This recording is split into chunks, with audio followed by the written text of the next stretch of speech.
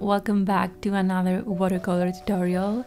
It's been so so long since the last one but I am so so happy to bring you another beginner friendly painting. And as you can see from the title, it might be slightly inspired by my sad face watching all the Eras tour videos and trying not to cry from not seeing Taylor live. For that reason, I got inspired to create a lavender haze scenery with of course my usual misty twist.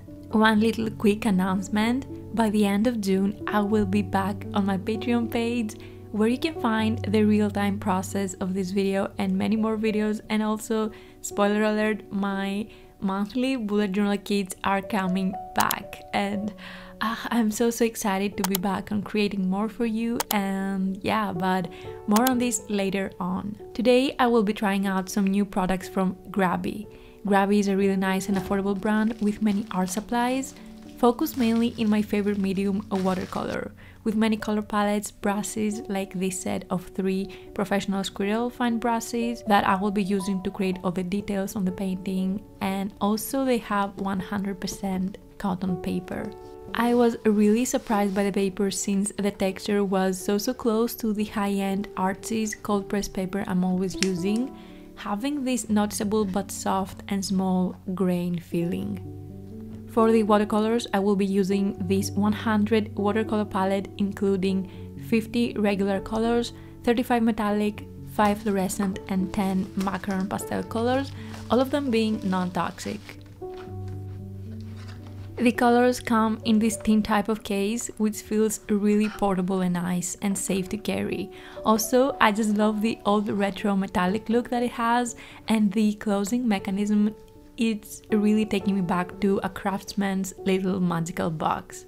The set also comes with a little box containing extras and this swatch card made of the same really nice paper I showed you before so when you're creating your swatches, you're getting a real feeling of how these colors will look on paper. It has all the names written and little boxes perfectly sized and folded to be placed into the metallic box so you can always have it with you while you need to pick colors. Inside the white box there are three water brushes and even though it is really nice to have and really useful, I don't actually usually prefer to use this type of brush since till now I cannot seem to get the accuracy and the line control I need for my paintings. I've been so excited throughout the whole unboxing to finally open up the case and see the colors. A plastic seat protects the colors from its side that I guess it could also be used as a blending guard on the go if you need a place to just quickly mix some colors. And here they are, out of the box, everything looks so so beautiful and vibrant. This palette seemed absolutely perfect for this painting considering all the beautiful pastels and metallic variations of violet and blue colors it has and even having the perfectly mixed lavender color.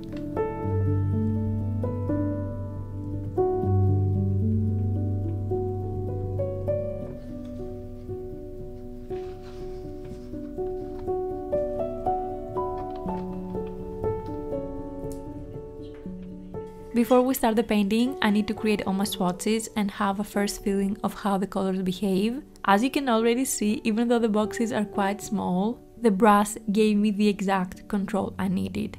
It kept its form while being soft at the belly and firm at the tip, making filling these little boxes really easy and fun. The colors were super easy to activate and even though the whole palette is on the affordable side, they didn't feel, you know, kind of cheap and chalky or like they were missing on the quality. I'm always a bit skeptical with palettes having so many colors, but truly I would recommend this palette. There are so many beautiful things you can create with it.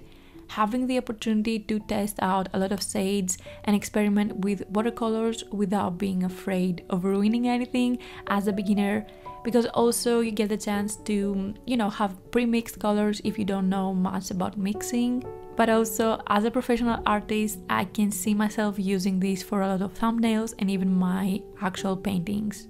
The 50 regular colors were super vibrant and saturated, while the metallic ones were very subtle, almost like a desaturated version of the regular ones. With not a lot of sparkle, they just had this really soft sheen of metallic effect, which can actually be a really good thing since they can be regularly used as a toned down option, giving transparency and a glass feeling to your paintings. Especially, I have to admit, I really loved that right down corner with these nine beautiful earthy tone metallics. Now, slowly starting off with our tutorial portion, as you have seen on my previous scenery tutorials, I tend to use a limited color palette to create the mystical and blended look. Using a limited color palette is beginner friendly and it just makes it easier to focus on the feeling you want to capture while creating this type of paintings that mostly rely on water and a lot of layers and blending everything together to create the feeling of a fuzzy sweet memory. So I went right into and started to create a mini swatch card with the colors I wanted for my limited color palette. Of course, when the process of painting begins, I can mix them up and create even more colors and just see what I need as I go. But to me, it's super helpful to see beforehand what some colors look next to each other. The main colors I will be using are Brilliant Green Purple, Byzantine, Dark Purple, Black, Dark Green.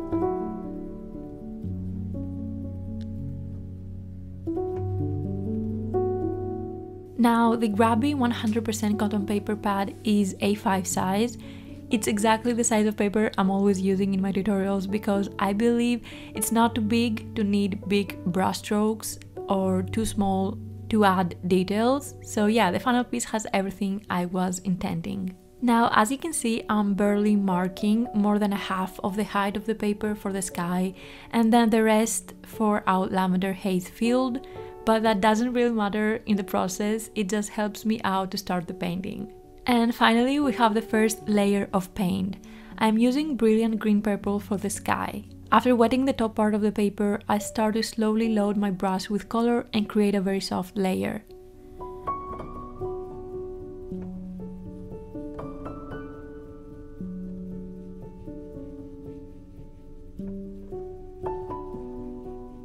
Then I continue by taking more color and starting to dab the brush on the paper in the shape of a cloud. Honestly, to create these clouds, it's super easy. As you can see, I'm tapping my brush, spreading the color in a cloudy shape and what really helps out is concentrating a bit more color in some spots making them darker and that will make the cloud look more fluffy and have contrast. It is totally okay to take your time, you don't have to get everything right in the first layer. As you can see, I'm slowly building the depth.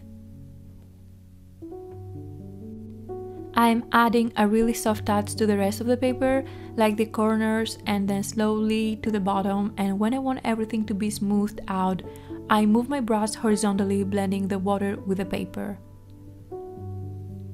I have to admit the brush really helps a lot. This type of brushes keep a lot of water in their belly, having a firm tip to control the placement. As you can see, I am still adding new layer on top to make the clouds even darker. I believe the trick for beautiful fluffy clouds is to create the first layers on a more wet paper so the paint can spread and fade out the edges and while the paper is drying and we are slowly adding more color and contrast, our placement becomes more specific while giving depth and volume to the clouds. One trick I always love to make my paintings have this moody feeling is mix a bit of a toned down brown or green to desaturate some parts of the painting and make it look even more realistic. That's the reason why I'm placing a bit of dark brown and a mix of blue more close to the corners of the painting where the focal point of the center is starting to go away and fade out. Also, whenever you feel like you're losing your cloud, you can always lift the color from the paper, creating highlights and bringing back some light spots you might have lost. You can lift color when your paper is wet by simply swiping with your clean brush or if your paper is dry, you can wet your brush and then softly wet and swipe the part you want to lift. Now, as you can see, I am starting to create the horizon by simply adding horizontal strokes and blending more of the brilliant purple. And I'm adding a bit of indigo blue into the mix for saturation.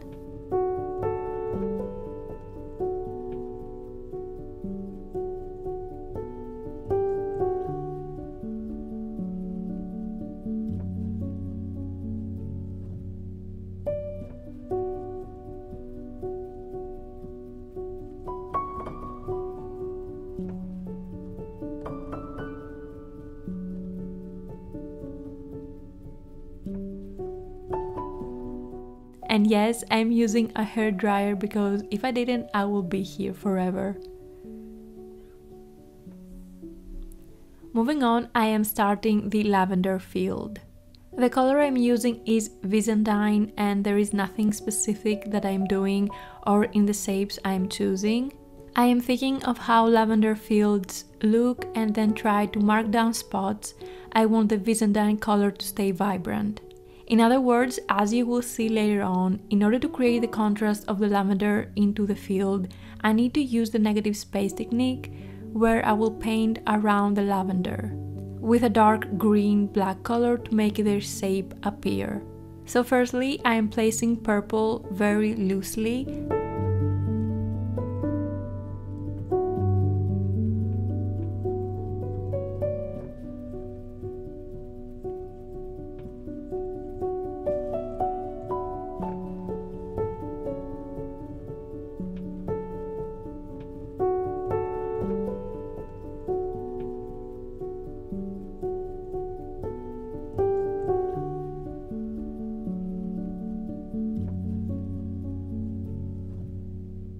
And now with a very dark green, I am painting around, separating the flowers and adding depth.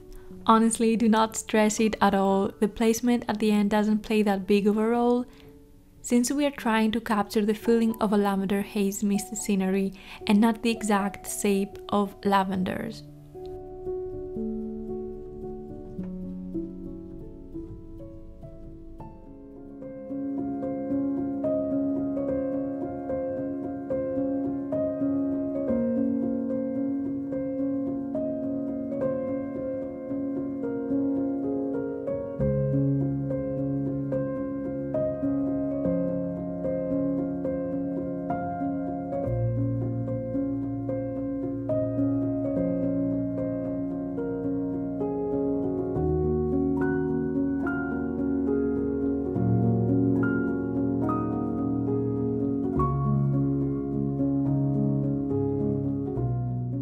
I keep mixing dark purple and Byzantine and start to give shape to lavenders by making their straight branch and then creating round shapes across their vertical body.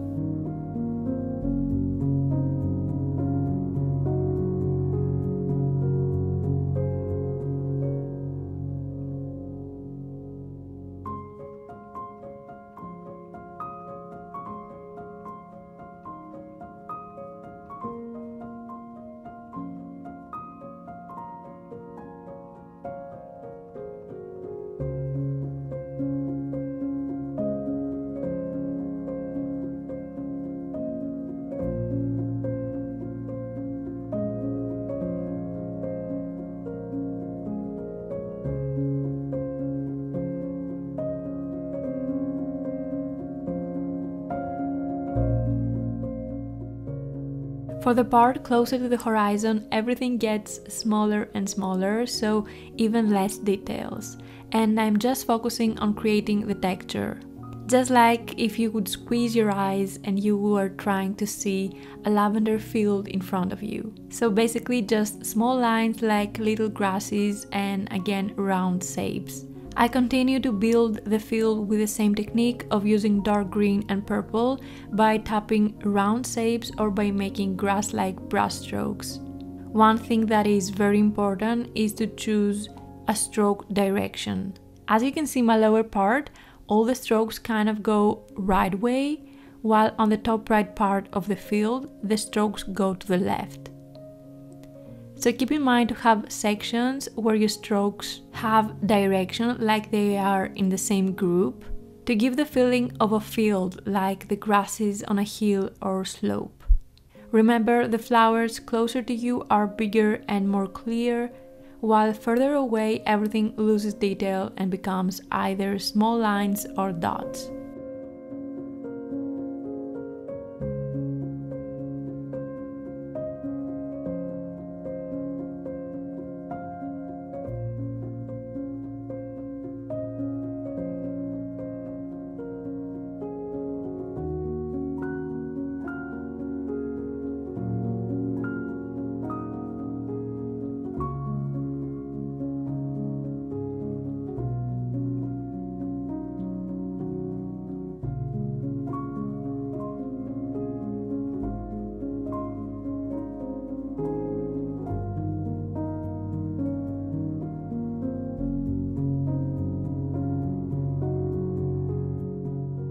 Now this is the part where I add the first misty layer by wetting my brush to smooth out upward the harsh line of the field. I know it might seem like I'm ruining what I did, but as I mentioned in all my misty tutorials, I believe this is the most fun part, where I get to trust the beauty of watercolors by blending layers together and letting the water do its job. Again, I'm wetting my brush and with a soft circular and horizontal move, I'm fading out the horizon line and also wetting again and blurring out part of the lavender field, letting the dark colors get mixed with the purple. In order for the horizon to not feel too forced, I'm bringing the purple upwards by slightly tapping or even creating small round shapes. I keep doing the same thing and when I feel like I'm losing too much detail, I come back and add some lines. Always remember for the best misty effect, you have to wet the horizon and bring it up quite a bit to the sky to make sure there are not any visible seams.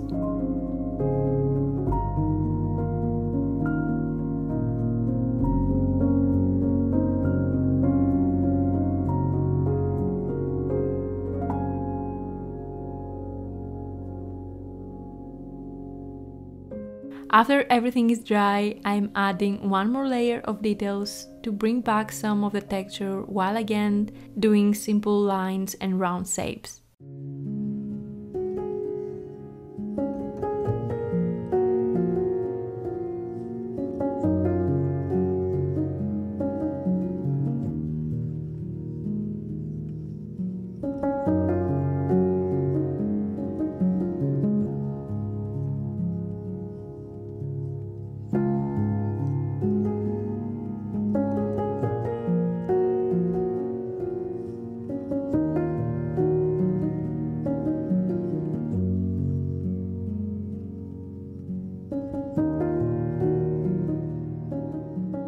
For a little bit of highlights, I use the Uniball white gel pen, but you can also just use some white acrylic or gouache. I create really small and tiny white details and by keeping your touches small and tiny is what makes this look even more realistic, considering how far away the field is and the perspective of the painting. Adding really tiny details is the correct scale to keep the field looking realistic.